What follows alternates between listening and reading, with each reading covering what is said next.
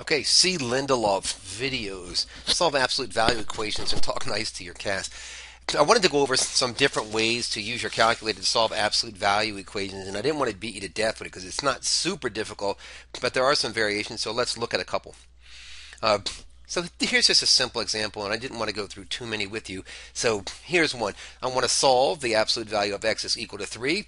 My variable is x, so I put in the x hit enter and I get that back. So let me just show you an easy way to do a, an example that's a little bit more difficult. So I'm going to use solve again. I'm going to type in the word solve. As I type the E, the, the letters go from italics to standard, which means your calculator understands that you're asking it to do something.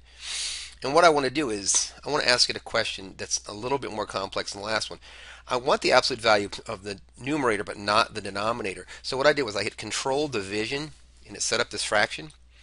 So in the numerator, I'm going to type an absolute value because I want the absolute value of the numerator but not the denominator. And I'm going to name that variable x again. Close this up. And then I'm going to use my down cursor to get to the denominator here. And from here, I'm going to use the right cursor again to get over. I'm going to hit equal to, which is here. And then, I don't know, maybe 5, if that's okay. So remember, I have this all set up. I have the absolute value only of the numerator, but not of the denominator. I typed in my equal sign.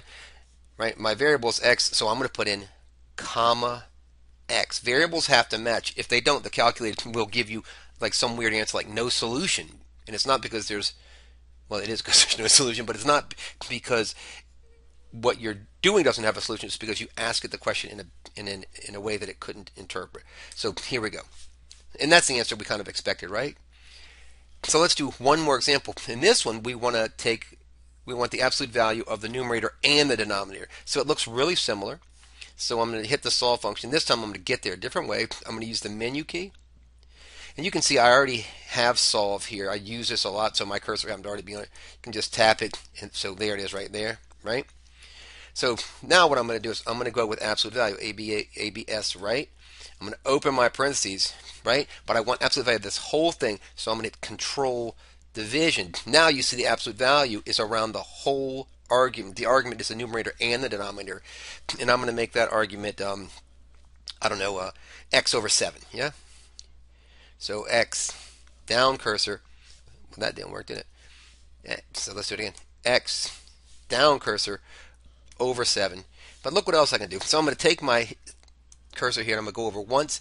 See, I'm still inside the argument. I'm going to get outside the argument. If you don't go outside the argument, you're asking a question that I don't think you mean to ask. So in, in this case, I want to say maybe minus 8. So I do minus 8. Please notice that the negative 8, the minus 8, is not inside the argument. If it was, it, you would be asking a different question. All right? Now, I'm going to go ahead and finish my question, which is when does that equal negative 7? That's a crap. No, it's not. It's a good answer. Negative 7. Enter. Oh, at negative 7, right? Almost got me. Comma. Comma. X. Hit enter. And that does make sense. I kind of I got lost. I was like, oh shoot, that is negative over here, but it did go positive. It works out. Hopefully, you can see example one took the absolute value of the denominator, of, excuse me, of the numerator only. In this, in the third example, we took of the whole thing. Last example, I promise, I really think this is worth it because if you get this, man, you can crush some stuff. So here I'm going to go back to menu. I'm going to use my use my solve function again, right? This time, I want it to look a little bit different. So I'm going to set up this again, control division.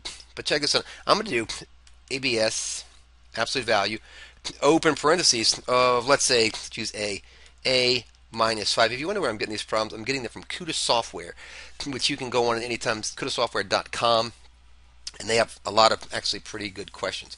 Go back to my calculator. I want to go down to the bottom, and I'm going to have that over 8. So now we have a term as our argument. A minus 5 is our argument, right? So I'm going to slide over here. I'm going to slide over here. So I'm using my right cursor, right? And I'm going to hit my equal sign equals. And what did they want to equal? equals 5. Check me out. Super important. We talked about not confusing our calculator and speaking clearly to it. And if I could hit this button, right? Remember, our variable was x here, x, so we matched x, x, so we matched x, x, so we matched x. Here, our variable is a, so you have to match it with a. If I seems like I'm uh, making fun, I'm not. It's just these are the kind of mistakes that that really even really good students make. So hopefully this is helpful. And here we go, and we have an answer. All right, and you can go back and test these answers if you want to.